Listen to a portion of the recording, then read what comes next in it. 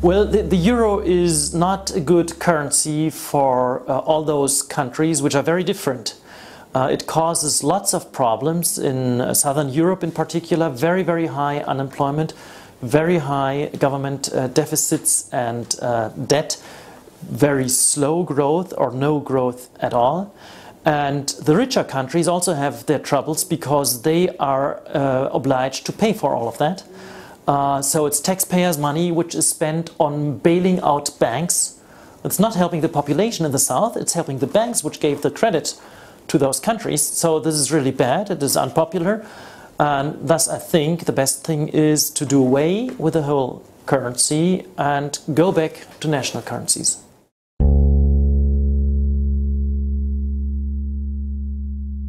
No, it's just one single currency. It is much worse than a fixed exchange rate system because a fixed exchange rate system you can always adjust the exchange rates. The exchange rate is fixed for some time and then if you find the exchange rate is not good then you adjust it change the, exchange rate. But in the euro, you can't do that. And that is the big problem of the euro. Because the productivities and the wages, they develop differently in all those countries. And actually, we would need adjustment of the exchange rates, but we don't get them. And so it's like, you know, like, like a flow of water which is being blocked by a big wall. And so more and more water comes, and one day, you know, the wall breaks, and then we have a big flood.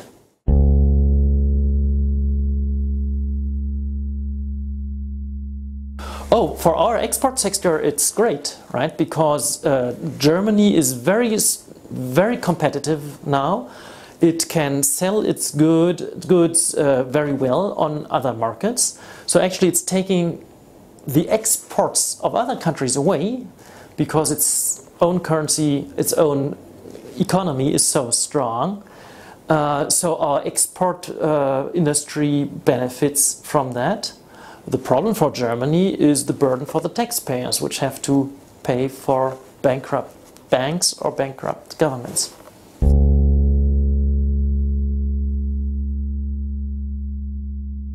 Not with the system of exports, but Germany broke rules of the Stability and Growth Pact in early 2000s, in the early 2000s, 2005 or 2003 I think it was, when we had way too high deficits um, actually, today we have way too high government debt. Our debt is at 76% of GDP, whereas the maximum is actually 60%. So we break this rule too. But this is just being ignored by the European Union, like they always ignore when somebody breaks their rules.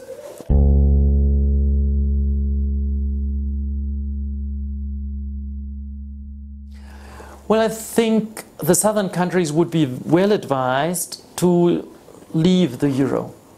And some countries actually uh, have movements which uh, strive for, for that.